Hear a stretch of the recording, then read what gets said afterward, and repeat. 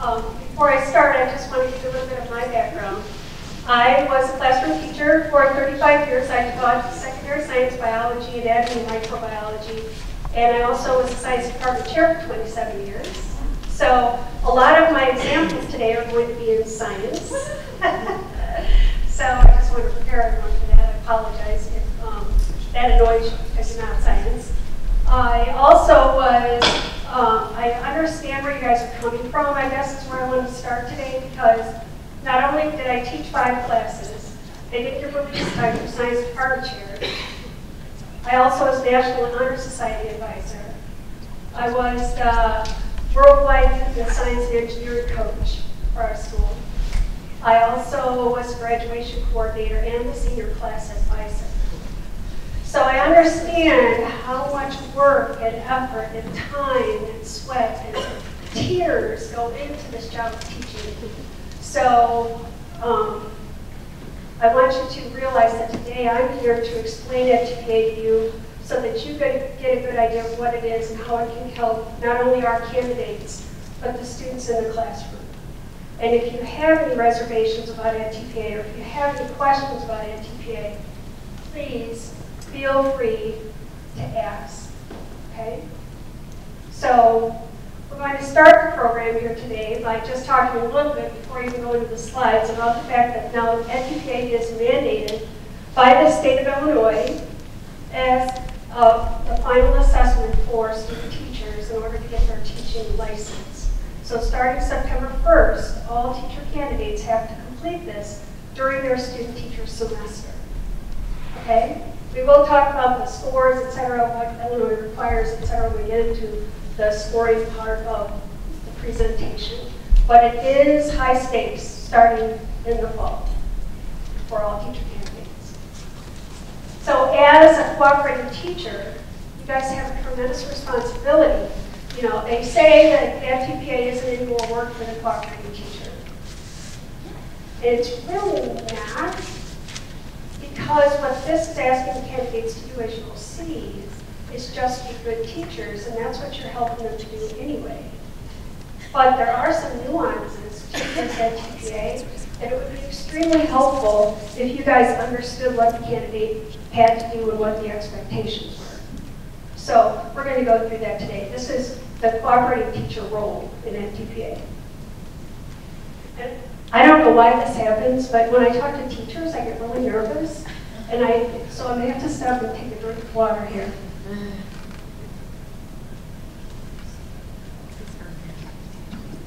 And I think that, actually, I think I know why it happens. You know, here I am standing up here telling you guys about what, what these teacher candidates should know and be able to do. You already know it, right? You're teachers. You already know what the expectations are in the classroom. So I, I, get a little bit nervous that you may think that I'm telling you what to do, when in actuality I'm not. I'm just trying to explain it to you. So here we go. First and foremost, thank you. Okay, taking on the role of being a cooperating teacher and inviting a student teacher candidate into your classroom is a tremendous responsibility um, to the teacher candidate and to your students in the classroom. I know for me, it was so hard because I loved, loved, loved every one of my students and I felt a tremendous responsibility for them and I wanted to do everything in my power to make sure that they were successful and it was the only freshman biology year they were ever going to get.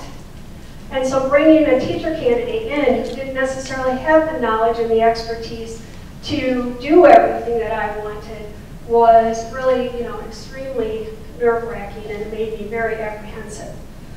So right out front, I'm going to tell you that this edTPA actually is a very good thing because what it's making higher ed programs do is look very critically at how they're preparing teacher candidates to go into the field and making sure that all the pieces of the puzzle are in place before you even get them. So it's making the teacher candidates better as they come into your classrooms from the, from the um, colleges and universities. So, and I think you'll see that as we go through when you look at these expectations. And it's the responsibility of the university to make sure these kids pass right? They have to get their teaching license. And so that puts a tremendous amount of responsibility on them to make sure that everything is in the programs that needs to be there. So So thank you. Thank you, thank you, thank you for taking the teacher candidate, because I know that was a hard decision to make. Okay, what is edTPA? It's a measure to capture evidence of prospective teachers' abilities to support P-12 students in learning important content. Okay, It's intended to be predictive. Is this candidate going to be able to function as a teacher in the classroom? And formative.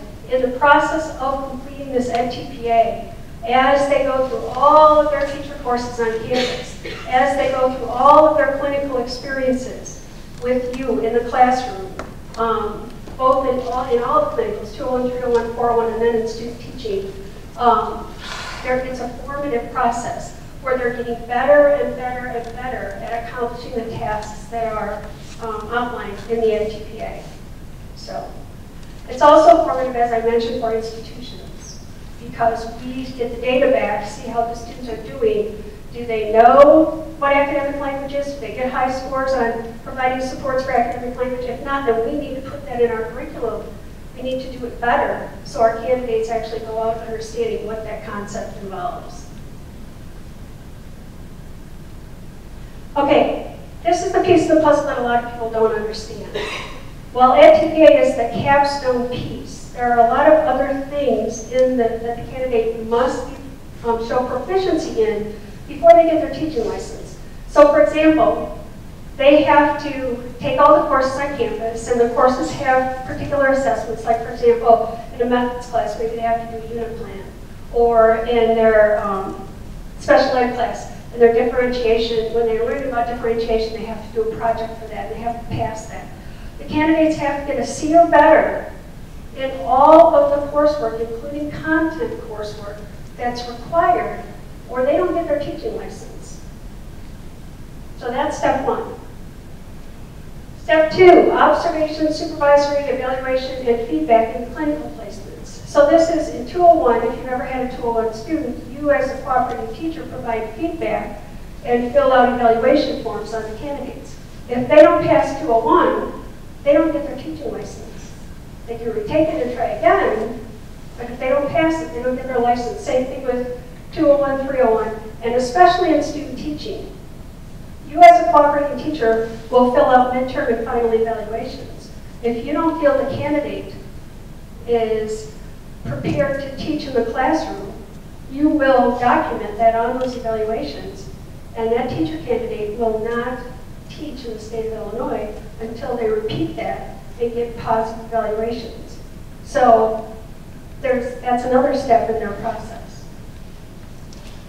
They also have to take the basic skills, unless, of course, nowadays in Illinois, if you take the ACT test um, within 10 years of being admitted to an education program, and get a score of 22 or above, and the ACT, ACT includes the writing component, you can use that in lieu of basic skills.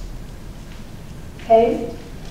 The other thing is they have to pass their subject matter test before they student teach. So they have to take, that's a content test for their subject. If they don't pass that, they don't student teach. If they don't student teach, they don't get their license. So let's say that they were successful in the first three, now they come to the edTPA. This one happens during the student teacher, um, student teaching semester. And they have to show that they can teach. So it is a performance assessment. It's not just a written test kind of assessment, but it's kind of like the NCLEX for nurses or the MCATs for, uh, or the final boards, I'm sorry, for um, doctors, lawyers, etc. It's showing, it's a professional assessment that shows that you're ready to be a teacher in the classroom. Okay? So we've got a lot of stakeholders here. So these are edTPA stakeholders. It's the NIU teacher licensure programs. Got a huge invest, investment in this. University supervisors because they're out there helping their teacher candidates to be successful along the path um, as well. Cooperating teachers.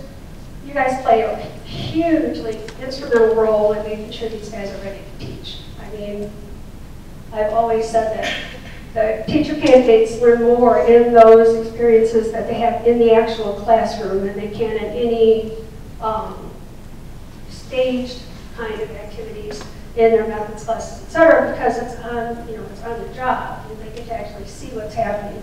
So operating teachers are extremely important. School districts, because they're supporting the candidates, obviously the teacher candidates themselves, and probably the most important are the students in the class, me, students in the classroom. Okay? Because if this assessment actually ups everyone's game, the students are going to benefit. So.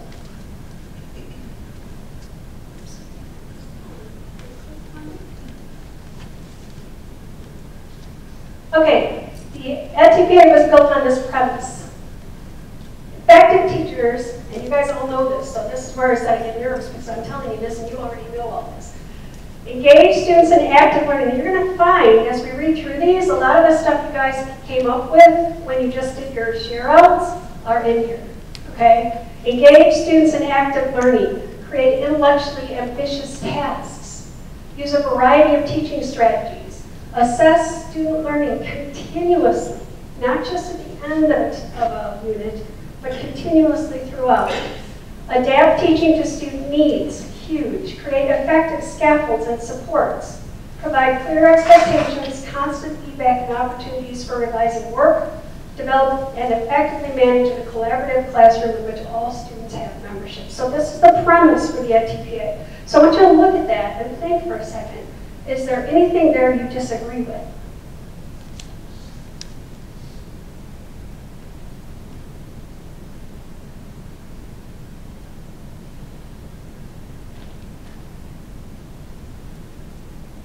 What teaching is, right? Okay. This is shifting the definition of effective beginning teaching from successfully delivering curriculum, like staying up and just doing the lesson, to having a positive impact on student learning. How have I affected the student's learning? Okay. Also shifted the business of teacher preparation from license as an entitlement. You complete these courses, go through these clinicals, get your student teaching done, and here's your teaching license. To an obligation to demonstrate the proficiency the curriculum intends. So in other words, I've always wanted to teach, I did this program, I've got my license to see, I can teach. So I submit this portfolio, it shows you that I'm very proficient at what I'm you know, supposed to be doing. The asks student teacher candidates to think and write critically about their planning instruction using data from their video clips and assessments. Okay, so I'm going to pause here for a second. How many of you guys actually know the nuances of the EdTPA, know what the expectations are? Okay. How many have had no experience with yet at all? Okay, so for people that first raise their hand, I'm going to apologize because you're going to listen to this again. I'm going to go through fairly quickly so, um, because we're going to go through it a little bit more in detail later. So this is what I usually use when I'm explaining what the EdTPA is and what it asks candidates to do. This is a cycle of learning, student learning. And you'll notice the first thing up there is planning. So it asks the candidates to plan to build content understandings. Okay, they have to be an expert in their content. They have to know their content. That's a big no-no. If they don't, they can get automatic ones by saying incorrect things about content. They have to support the learning needs of all their students. So that means students that are on IEPs and 504s, but it also means regular classroom students, struggling learners, slow readers, gifted students. They have to be able to support all of those students in the classroom. They have to use knowledge of their students. Okay, so they have to know what the students already know or are able to do, their prior knowledge. They have to know about their personal, cultural, and community assets. So what do students bring to the table that may um, tie into the lesson? Because they want to make those connections to make that learning meaningful. And then they have to um, plan assessments to monitor student learning And those assessments have to be throughout the lesson. So they plan a three to five day learning segment, keeping all of this in mind. And they have to assess every day of that segment to make sure students are meeting those learning objectives. It's not just a one and done at the end. It's they have to plan all, you know, informal, formal, formative, and summative assessments within that three to five day lesson. Okay? Any questions about that? About the planning?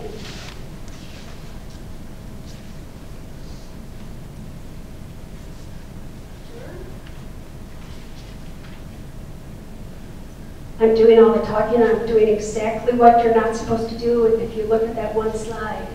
Engage the students, you're not engaged. Any questions at all, planning?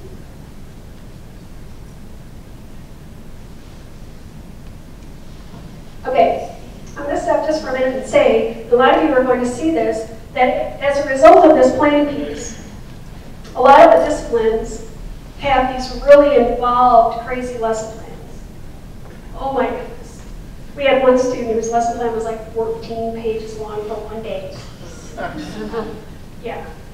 The reason we have those in place is because we put all of these pieces of the puzzle in that lesson plan. So we'll say, one of the first thing they have to have is the central focus of the lesson.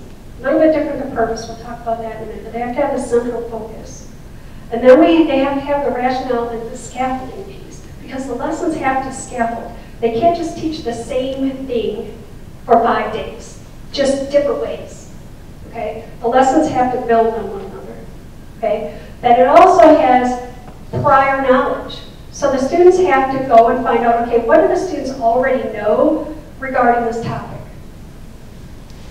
And then, when they're teaching the topic, they need to reach back and pull forward. So they already know this stuff, so I'm going to reach back and remind them of what they know or ask them to say what they know and then build on that. Because all of these lessons are supposed to be logical and progressive, right? And so they're asking, in one of the prompts it asks um, to show how you illustrated or used prior knowledge of students. So they actually look back and they pull that information forward in the lesson.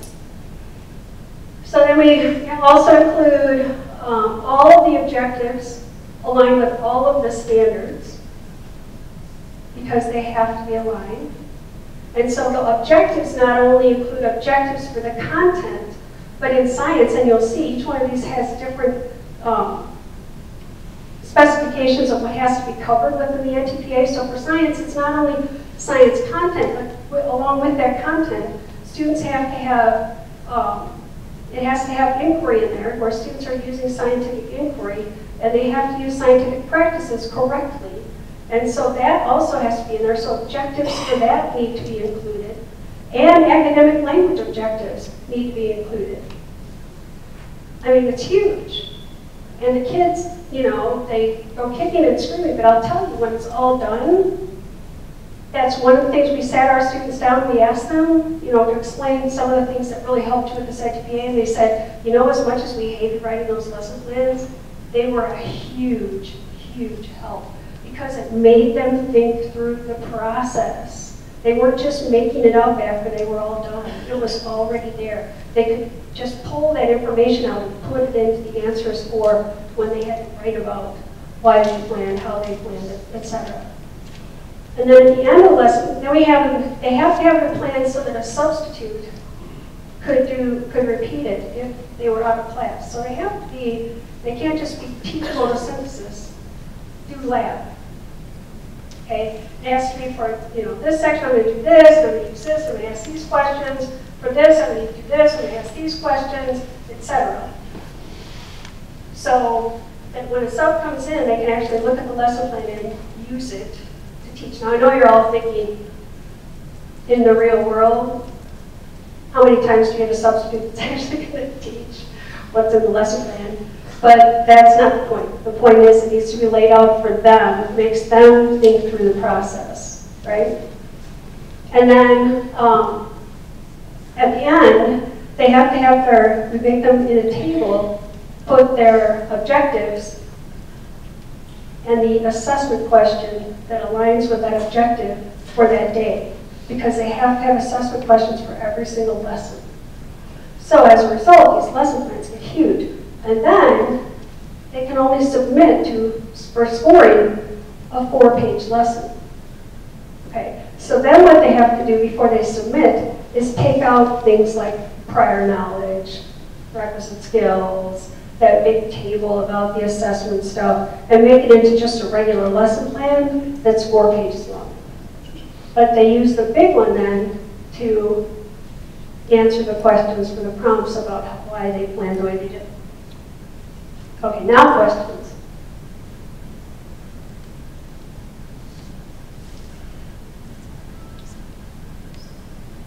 Wow, I must be good. Um, I did have a student teacher this last year, and I noticed that these pieces are due at certain times. And it seemed like, if I remember correctly, a big portion was due like in March or April, and it was like, they had all this work to do, but, so I felt like it did take away from the classroom focus. And is there a reason why they're having it all due during this time?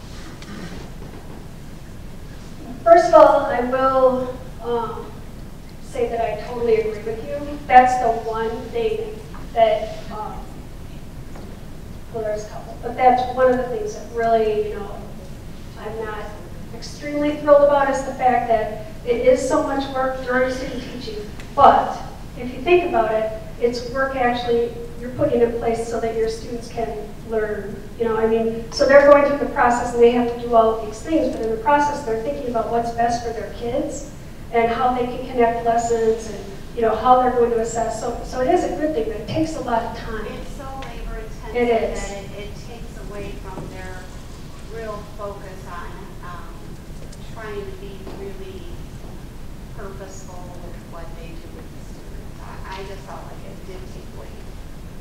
And, and, you know, it puts so much of their focus on, their focus is on getting a job, you know, let's face Right. it. It, it's like passing, getting the job, and then this on top of it, and all the components of the videotaping, and editing, it's just so much at such a crucial time. I feel like it would be better if they could do the student teaching, tape, do these things, and then have all this due after the fact. The only problem with that, um, and I I will go back and address it too, but the only problem with having to do earlier in the semester is some programs actually use the grades from this for their grades, and they won't be able to graduate. And it takes, there's a three-week turnaround time from when you submit your NTP, edTPA to when you get the grades back. So what programs have been doing to try to alleviate that problem, it's just try, and I'll explain why it's only try, is they have been setting due dates, okay? And best case scenario, especially if you have a student teacher and with all the CLAS programs, there's a 401 semester where you actually have this person before they walk into your classroom, okay? That's when you should start having the conversations. I'm kind of getting ahead of myself. That's when you should have, start having the conversations about, okay, let's look at next semester. What lessons do you think will be, you know, possibly good for the edTPA? Start writing your lesson plans now. For that. I did do that. Yeah, so that their planning piece, this first piece, and this is the piece that's most labor intensive, is that planning piece. So that that's totally done before they even walk in. And here's what I would actually have you do. Rather than just have them plan one, have them plan for two or three. Because things happen, Oh, yeah, no, it did. yeah, Um, we, I wasn't, when she took over, we were hoping to have her start the unit on functions and we weren't done with, um, angles and that. So she did, she did have to take over a force portion she wasn't ready for. Yep, that's totally what I would do. I would, you know, have conversations with them in the 401 semester, look at what's going to be happening in the following semester, look at some, pop- now, once you get through this and you understand what the edTPA is asking your candidates to do, you can help them up to the point when they start this edTPA, which doesn't mean you, you, if they're writing the lessons for the edTPAs they're going to submit, you can't help them write the lessons. But you can talk about what lessons would be good for them to possibly teach for the edTPA, and then have them start writing their lessons. I know I had some students who actually got their lesson plans done in December, and they start student, started student teaching in January, and so then they used them, and that took a total burden off Um, because, you know, you're right, it takes a lot of time. They have to answer all these prompts, and it's a lot of pressure. They, and now, with it being high stakes and for licensure, the pressure is even going to be more, you know. So the more you can help them out in that prior, that semester prior to, and have the conversations we're going to talk about today, the more it's going to help them, I think. Can, will we alleviate that problem totally? No. It's just the nature of the beast. It has to be done in student teaching. There is no excuses for some programs. They need them done at a certain time so they can get the scores back, so they can give the candidates a grade. And if they don't, they can't get their license, they can't graduate, they can't get a job, or they at least aren't out there in that first rush of, you know, trying to get a job. And so, so yeah, there's just certain things you can't change with the grade. Yes, Do we have access to the rubrics for the assessment on this? you will. I'm going to explain. Okay. Okay, any other questions about the planning piece? Okay. Great, thank you for asking the question. All right, so, so this is a planning piece. Then I'm going to pick, and here's what I would have you do with this, you guys. They're supposed to pick a segment of the, of the lesson videotape.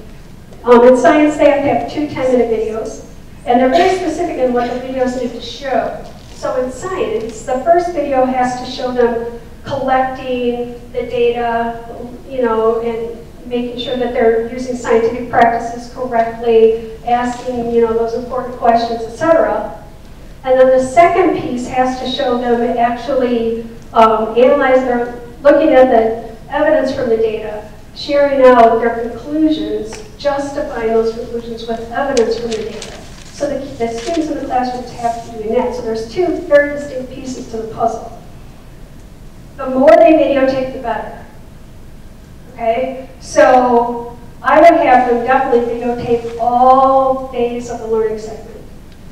And the reason for that is because if something happens, then um, they can fix it, right? Or they might have some video footage that would be still appropriate, maybe not as good as they had hoped, but still appropriate so they can still use it because otherwise they have to redo an entire learning segment and re-videotape it, et cetera. So, and the best case scenario for that would be have them videotape everything from day one of student teaching.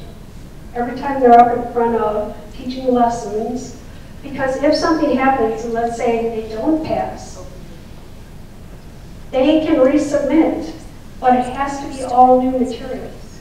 It cannot be from the same learning segment. So if they don't have anything from their student teaching experience, what do they have to do? Redo student teaching, at least a part of it. So they have to be replaced, redo, resubmit. So the more they videotape, the better.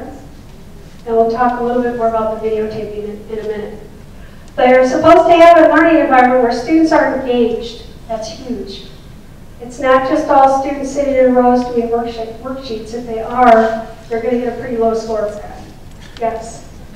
How does this videotaping impact FERPA?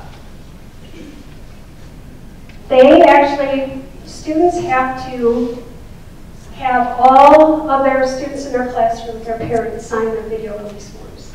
Okay? And so in that video release form, it says right in there that this videotape will be submitted to a third party, Pearson Publishing, for scoring because of the edTPA. It also says at NIU that their materials that the candidate submits may be used to train future teacher candidates because we need exemplars for our students. We don't have any. There isn't any online. So that parents sign off on that. If the candidate allows us to use their stuff, candidates have to sign off. So we've got all of those bases covered with all the permissions. I, I, my concern is that, you know, I tried to do this just for one class of students this year, just for some pictures for Golden Apple, and it, to get those returns from parents are, are very difficult. So, I mean, if I have a student teacher, that's 145, 150 students, and that would be an awful lot of phone calls home or, you know, letters and that kind of thing. Um, but, which we have to do. I mean, if we're trying to videotape, I mean, if we're going to do a lot, then I would, I would think that we would want to just focus on one class, that there would be videotaping taking place on classes.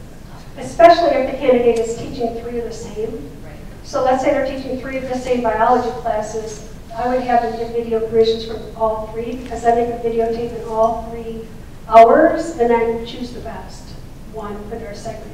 Um, videotaping police forms actually Chris Koch, our former state superintendent, sent a letter to all superintendents explaining the EdTPA and asking, you know, telling them this is what's going to happen, blah, blah, blah. Um, so school districts, for the most part, um, have bought into this. And some of them actually include that information on the permission form that they send out at the beginning of the year to all the students, then they sign it in registration. We have a lot of parents that refuse to sign for them. If that's the case, then what happens is those students are not sent out of the classroom. They're still taught that same lesson, get that same learning experience, they're just off camera. So, um, it is, it is doable. I've had, um, some of the students that have had to only half of the class it's half and turn them in. It's gotten better through the years, but, I, I would say we had to, she had to go back and blur some faces. So that's Right. they're learning how to use, um, our district does have a form that they sign, but she said there was a specific form that was specific to edTPA that I think had to get submitted to Pearson. yeah. And so, um, we did limit it to one class of thirty students. So that it wasn't And she, she specifically chose the class that had, um, the special ed, um, the IEPs, where her data would fit what she needed to do. So it, it was very conscious. And yeah, we didn't get all of them back. It's. Yeah. And it is allowable to blur faces. That's one of the things that they just started allowing. Um, They also don't want the school identified. So if you have on your wall the name of the school, they're supposed to blur that out as well. Now, when the kids all wear the t-shirts that have the school's name on it, PE, then, you know, that's a problem. So, yeah. What if we teach like two different, like science will sometimes teach chemistry and physics or like two different types? Do they want one video from each class or do they want just? They pick one class, they do three, a three to five day learning segment for that one class, yeah. And so, but they can pick, they can take like three classes and then after they're done and they look at the video, they can say, ooh, I really like the second hour one better. And it was the same material, it was the same lesson plans and stuff. So then, but if it's different subjects, that will work. If it's different levels, it won't work. If it's biology, advanced biology, you know, that won't work either because, because it has to go with the plan that they created for the three to five day learning center. Okay? So, you know, this is one of the things I was going to go over in a little bit, you guys. But um, helping students get those permission forms back is huge. So that becomes one of your roles as a cooperating teacher. I, you know, I there's so many ways that cooperating teachers have done this. You know, some of them give, I'm not a proponent of extra credit, but that's what they give extra credit. They give candy, they, whatever it takes to get those permission slips back. Uh, maybe you don't have to do that to coerce your students, I don't know. Uh, in a perfect world, they just all bring them back. So, but they have to have them signed. Okay, any other questions about permission slips? Okay. So going back to learning environment, engaged students, they have to be, you know, the perfect scenario is students guiding their own learning. You want candidates to get high scores, that's huge. You know, if, the if it's a teacher-led classroom, they can still be proficient, but if it says students are engaged in their learning, they're doing research, they're sharing with one another, they're excited about what's going on, that kind of thing, then the scores go higher. So they have to show students are engaged in learning, they're asking those questions to get the students thinking deeply about what they're learning, or students are asking other questions, or other students those questions, and ha- they have to know their subject. This is one of the areas, one of the rubrics where they don't know their content, automatic one. So. Assessment, this one's huge too. Um, for the assessment piece, students actually have to assess their students every day, but for this piece, they picked one of the assessments from the five-day learning segment, just one. But that assessment has to allow them to collect both qualitative and quantitative data. for every student in the class. Okay? So that they can look at whether or not students are actually meeting the learning objectives for that lesson. Right? You guys do that all the time. So the more you can help your candidates understand that process, the better. Okay? And then they have to provide feedback on that assessment to their students. It has to be both what their students are doing well feedback, equal amount of what they need to improve upon. It's got to be two faceted. It can't just be all what they need to improve upon. They have to give, in that three to five day learning segment, they have to give their students an opportunity to use that feedback. This is across the nation. It's rubric 13. And it's the one place where most candidates score the lowest. And it's because they're good at giving feedback, but then they don't do anything with it. So it means, what are they, how are the students going to use that feedback? What assignment? What are you going to have them do next? You know, how are they going to show that they used your feedback to advance their learning? And then they have to reflect. Do this whole thing, they have to analyze. They have to explain why they chose the plans they did. They have to watch the video and reflect on their teaching. They have to look at the assessment data and reflect on their teaching and learning that was going on in the classroom. So they have to be a reflective practitioner. And then the academic language piece flows throughout.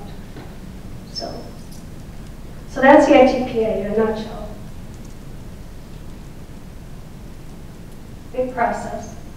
For each one of these tasks, they answer prompts, and it asks them to explain. Explain why.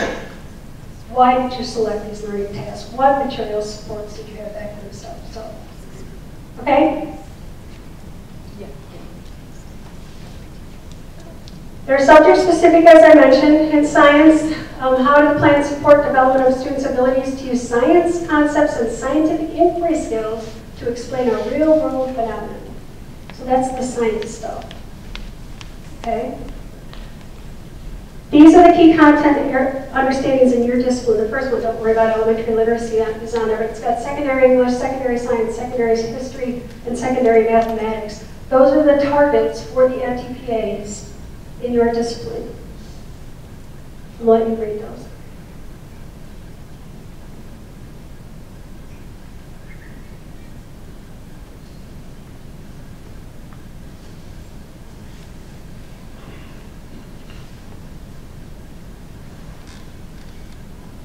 Questions? Okay. These are all handbooks that they have for edTPA. So every discipline has a discipline-specific handbook. I am going to give you access, or your program will give you access to your discipline's handbook and the templates the students have to answer. All of which include, the handbook includes the rubrics that you were asking about. Um, and there's some other documents as well, um, and I'll get to that in a minute. Any questions about this? These are all the areas of licensure in Illinois, and they're all, they, every program has a handbook.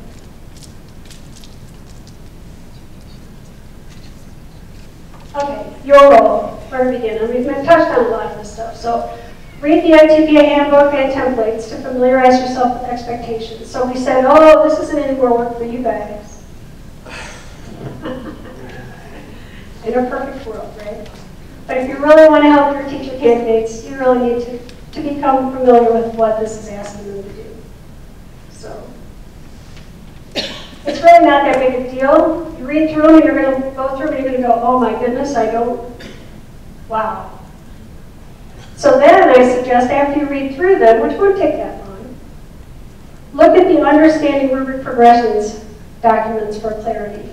Okay, so for that one, it'll tell you, okay, this is what they need for rubric one. So rubric one, they need to plan scaffolded lessons, et cetera, et cetera. So then the rubric progressions document will say, what do they need to do to be proficient? What do they need to do to get a three? And it clearly explains what the expectation is for the three. Our target is a three. They can have a score of one to five. Three is proficient. Okay? So if you look at that three, this is what the teacher candidates have to know and be able to do, then you'll have a good idea. And then they're also, all of them are asked to read the Making Good Choices document, and this is leading up to their planning. So if you read that ahead of time too, again, it won't take you too long. Okay, but here's the biggest point, it should have been first. Stay the course.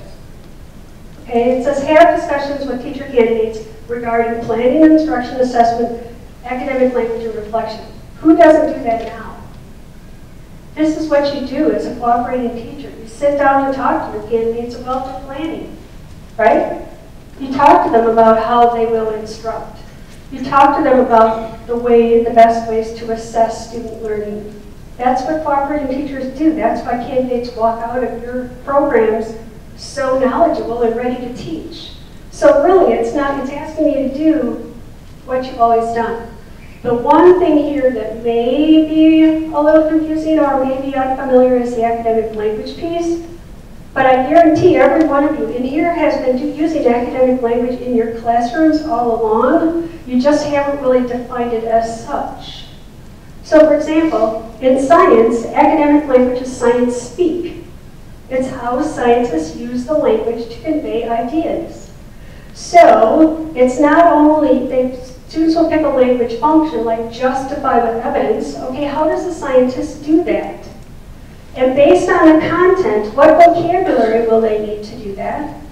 What syntax, how, you know, for example, if they form a hypothesis, you want that in an if-then statement. Scientists use graphs and charts, and they have to make them the correct way, otherwise the graphs and charts don't make any sense. So that's proper syntax. And then they'll stand up and use that data and explain what happened um, and how they drew their conclusions looking at the data. So that's a scientist, it's how they speak. That's academic language. And it's different for every discipline because every discipline has a different type of academic, language that you speak. So. So basically, the reflection piece, this is when you sit down with your cooperating teacher at the end of the day and say, okay, what went well, what didn't go well? And I'm sure a lot of you can attest to the fact that the candidate's going to say, oh, I thought I did a really nice job today. when in actuality, you were thinking, oh, wow, maybe you could have done this differently or that differently. Getting the candidates to be really good reflective practitioners means getting them to focus on learning that's taking place in the classroom. I had one student that was going on and on about how, what a great job he did, and I pulled up the video and I said, look at this class. You see the three people in the middle? What are they doing? They were all like nodding off. It's like, okay, well, maybe you need to change some strategies there. because you need to look at what is happening in the classroom, look at the assessments, look at the videos that you're, that you're doing, or talk to your cooperating teacher and figure out, okay, today went pretty well, but how can I do it better? How can I reach more students? You guys do that all the time anyway. That's what cooperating teachers do. So, oh, whoops. And share your share your experiences. I mean, that one, they learn so much from you sharing your experiences. So, okay, what we're going to do here is we're going to look at these tasks one by one. How much time? Where am I at? Okay. Oh, wow. I thought I was really great. Okay. Um, we're going to go through these. We're going to let you talk as groups, since you guys are already in groups.